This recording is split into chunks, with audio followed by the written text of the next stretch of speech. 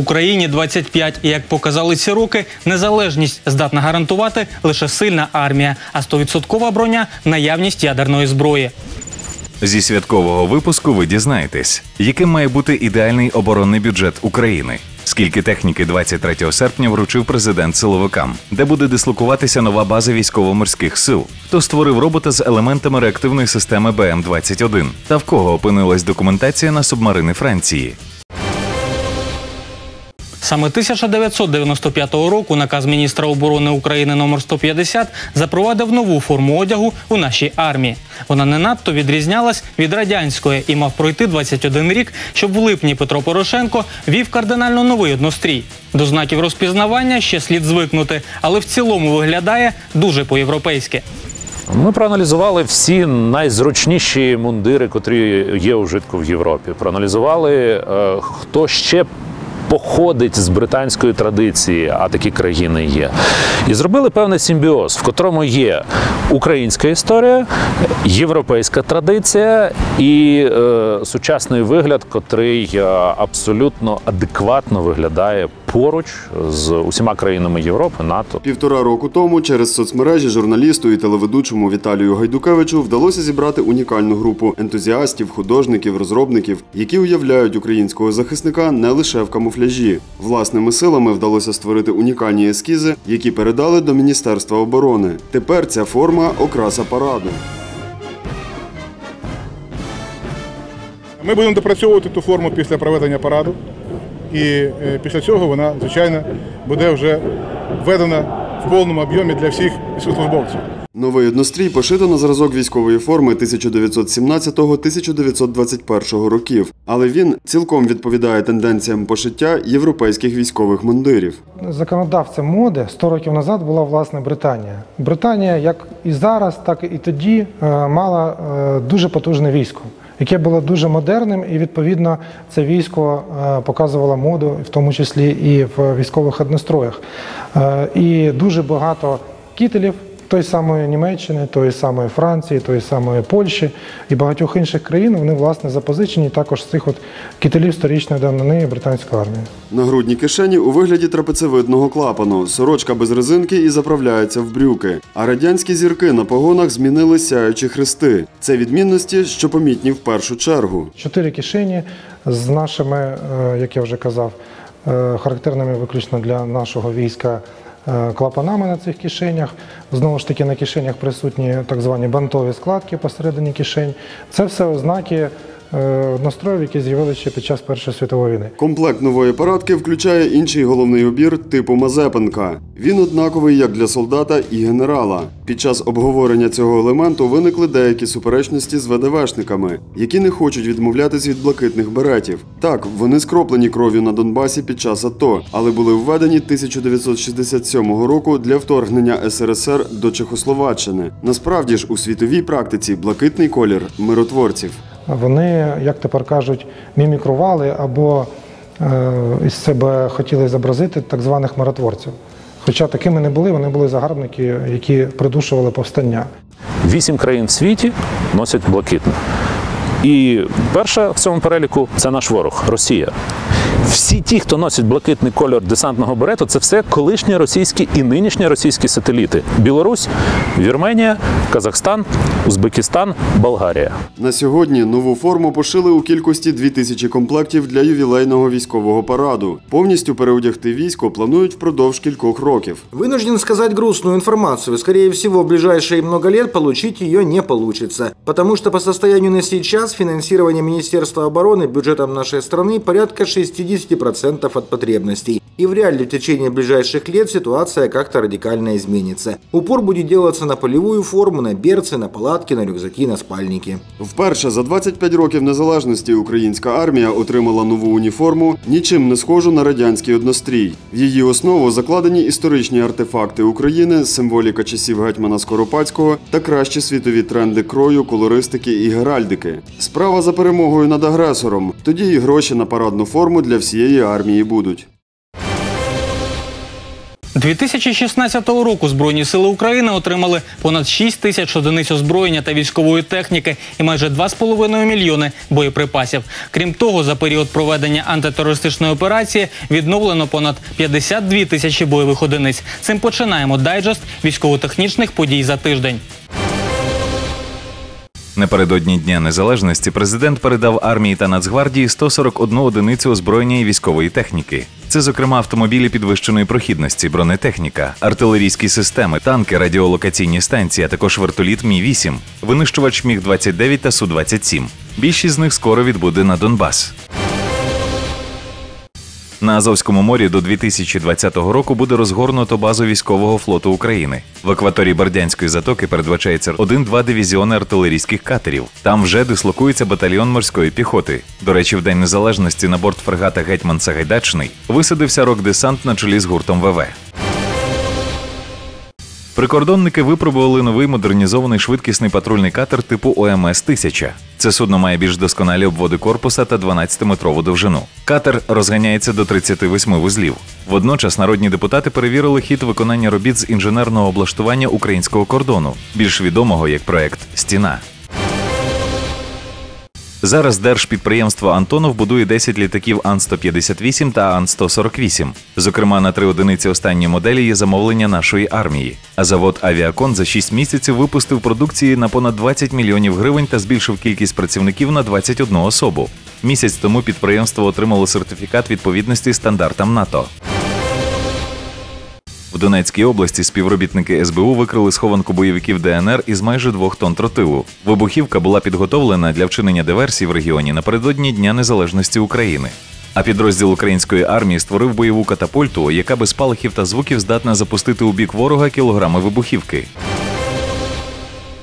Двоє братів з Іраку зібрали наземного колісного бойового робота. Апарат отримав назву «Ея-робот». Бойовий зразок обладнаний чотирма камерами, кулеметом і пусковими установками залпового вогню БМ-14 та БМ-21. Керування машиною відбувається за допомогою ноутбуку через радіоканал. Наразі «Ея-робот» проходить випробування. Німецький консорціум Мартек оголосив про підписання контракту із Збройними силами Литви на постачання 88 багатоцільових бойових машин Боксер. Сума договору 386 мільйонів євро. А в мережі з'явилися перші зображення новітнього іранського танку Карар, який дуже схожий на російський Т-90 СМ, але кращий за нього технічно. Колишній флагман королівського флоту Великобританії Іластріус відправився на утилізацію. Берегова охорона Філіппін отримала багатоцільовий патрульний корабель MRRV. А видання The Australian заявило, що володіє секретними документами, які стосуються французьких підводних човнів Scorpene. Їх компанія DCNS будує для Індії. Турецькі ВМС незабаром поповняться новими протичовновими літаками ATR-72-600 ASW. У США внутрішній бойовий відсік Б-52H адаптували для пуску крилатої ракети JASSM. А компанія Leonardo відновила випробування дослідного конвертоплану АВ-609, прототип якого впав минулого року. В Росії успішно завершились випробування двигуна міжконтинентальної балістичної ракети РС-28 Сармат. Його запас потужності дозволяє атакувати цілі не тільки найкоротшим шляхом, а й через північний та південний полюси. А Північна Корея субмарини здійснила пуск балістичної ракети КН-11, яка, пролетівши 500 кілометрів, впала у Японське море.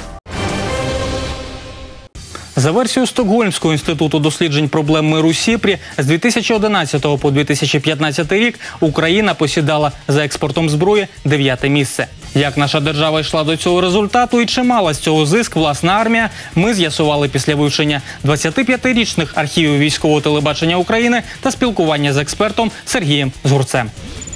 Зараз, коли ми сподіваємось на летальну зброю з-за кордону, важко уявити, що чверть століття тому Україна успадкувала військове угруповання, якому заздрила вся Європа. Українська армія була однією з найбільших у світі, нараховувала близько 800 тисяч особового складу. Вона володіла і третім у світі за величиною ядерним арсеналом. На території України було розташовано 176 балістичних ракет і близько сотні стратегічних бомбардувальників з ядерним арсеналом. Якщо оцінити наскільки скоротився парк техніки України від розпаду СРСР до початку агресії Росії, то побачимо, що показники змінилися у рази. Найбільш вражаючим виявилося зменшення танків та артилерійських систем, які зараз особливо потрібні на Донбасі. Найменше скоротили, продали чи розікрали бойових броньованих машин. Час до них нещадний, але модернізація рятує. З 1991-го тотальне скорочення успадкованих армій, дивізій, бригад і полків почалось саме з відмови від стратегічних ядерних сил за незначну фінансову допомогу та липові гарантії безпеки. за всі роки Україна ніколи не вибилась із графіка. Тобто свої зобов'язання Україна чітко виконує, як би це важко не було. Авіаносії ядерної зброї теж недовго затримались на українській території. З 1996 по 99 ми ліквідували 29 літаків Ту-160 і Ту-95 МС, 487 крилатих ракет класу Х-55. У 2002-2006 роках порізано 60 ракетоносців Ту-22М, а до 2007-го знищено 6 протичовнових літаків Ту-142 і 4 учбово-тренувальних Ту-134 УБЛ Одиницям цих літаків пощастило оселитись в музеях. Частину Україна віддала Росії за газові борги. Я бы на этом самолете еще летал бы и летал. Жалко отдавать эти самолеты. Жалко, если их порежут, так На скажем. металлолом с них. Вот это будет жалко. Хотелось бы, чтобы они еще послужили. А если кто-то на них и будет летать, пускай те же россияне. Пускай, конечно, летают. Саме ці літаки зараз бомблять Сирію і цілком можуть загрожувати нам. Українським ракетникам СРСР залишив оперативно-тактичні комплекси Р-300, які до 2011 року порізали на метал. Точка і точка У вважались доволі сучасними на той момент, але 2000 року один з пусків призвів до трагедії у броварах. Ми прийшли до висновку, що це е, вирогідніше всього е, вибух на, в ракеті на траєкторії, який і став основною причиною того, що ракета позбулася керування і пішла в некронованому режимі. Наступного року українська зенітна ракета С-200 помилково збила пасажирський літак Ту-154М. А ще через рік Су-27УБ впав на натовп глядачів на Скнилівському литовищі. Час від часу Україна здригалась від вибухів складів із боєприпасами у Артемівську, Новобогданівці, Лозовій, Сватовому. І хоч військова техніка не раз допомагала українцям у боротьбі з повенями, снігопадами, іншими аваріями, підвищувала імідж країни на міжнародних навчаннях, миротворчих місіях, морських походах, Україна змушена була позбуватися від неї. Реформою передбачено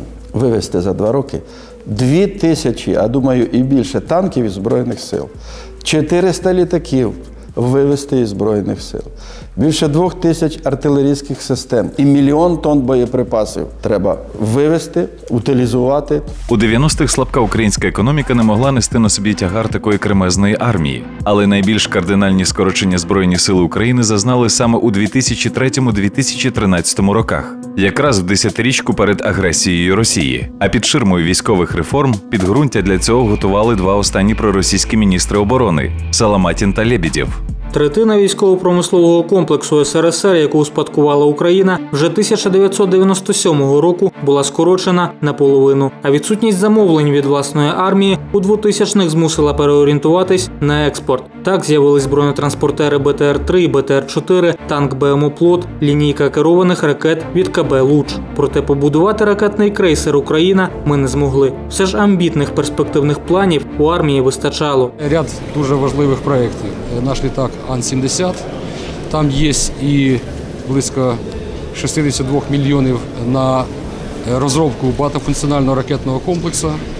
Там є і програма Корвет, там є і танк Оплот. А це про плани на навчання Артерія 2007 розповідає розробник оплоту Герой України Михайло Борисюк. Ми ще внедрим ему штурвал, реверсивну трансмісію, увеличимо задню скорость, введемо еще э, будем говорить, панорамный коман- э, прицел командира, тепловизионный прицел наводчика. Цікаво, що саме поруч з оплотом на показі з написом випробування стояв БТР-4. Його прийняли на озброєння української армії лише через 5 років. Хоча після невдач з іракським контрактом саме цей бронетранспортер став першою новітньою машиною, що посилила підрозділи антитерористичної операції на Донбасі у 2014-му. Це потім там почала з'являтися нова стрілецька зброя Форт, протитанкові комплекси Стугна П, бронемашини Крас Кугар, Спартан, Козак 2 бронетранспортери БТР-3, вертольоти Мі-8 МСБ та Мі-24 ПУ.